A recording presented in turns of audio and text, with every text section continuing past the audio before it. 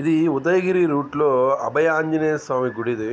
ఇంతకుముందు వీడియోలో ఆంజనేయ స్వామి విగ్రహం అడవిలో ఉండడం మనం చూసాము ఇక్కడ ప్రస్తుతానికి అభయ ఆంజనేయ స్వామి విగ్రహం ఏదైతే ఉందో ఆ విగ్రహం కూడా అదే విధంగా రాతి మీద చెక్కబడింది.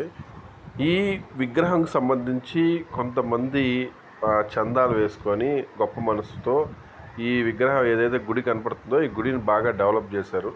సో వాళ్ళు చందాలు వేసుకొని డెవలప్ చేశారని నాతో వచ్చిన మా ఫ్రెండ్ చెప్పాడు. ఇదే అభయ ఆంజనేయ స్వామి విగ్రహం ఇది. ఇక్కడ మీరు చూడొచ్చు. పూజారి ఉన్నాడు. ఉమ్, పూజారి కూడా ఉంటారు అంటే అప్పుడప్పుడు ఉత్సవాలు చేస్తారనమాట సంవత్సరం సంవత్సరం. ఇక్కడ?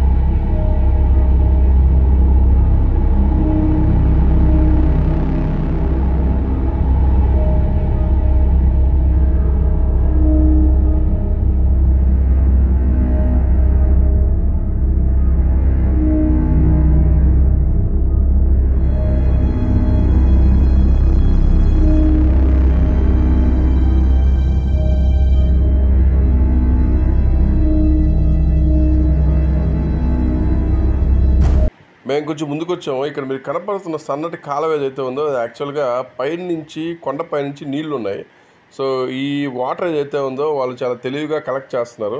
త్రీ సిక్స్టీ ఫైవ్ డేస్ ఎప్పుడు నీళ్ళు పారుతూనే ఉంటాయి. కానీ ఆ నీళ్ళు ఎక్కడి నుంచి వస్తున్నాయో తెలీదు.